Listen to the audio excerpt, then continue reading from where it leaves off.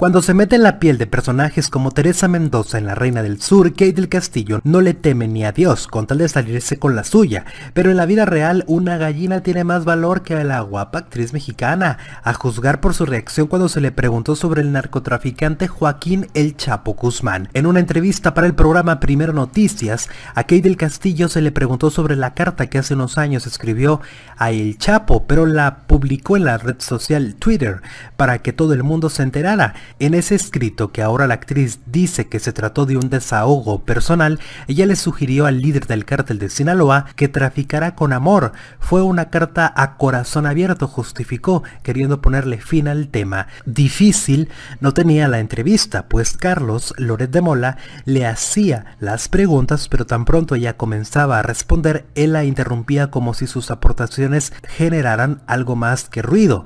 Le preguntó su reacción a la segunda fuga del Chapo, a lo que la protagonista de la película Los 33 expresó que le provocó una risa loca, pues el incidente convirtió a México en el hazme reír del mundo.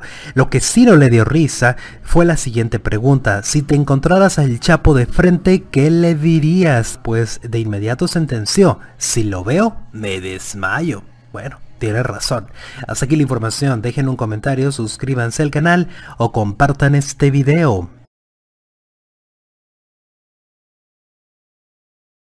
¿Quieres tener la información al momento? Síguenos en Facebook como Alejandro Z Show o Alejandro Z Radio. Dale like, dale me gusta a la página y estarás informado al momento. O bien, ¿tienes Twitter? Sígueme en Alejandro Z Radio, dame follow y yo también te daré follow, así que agréganos a esa red social. O bien, suscríbete al canal, dale click en suscribir y así estarás informado al instante. Alejandro Z Radio, una red de información de espectáculos.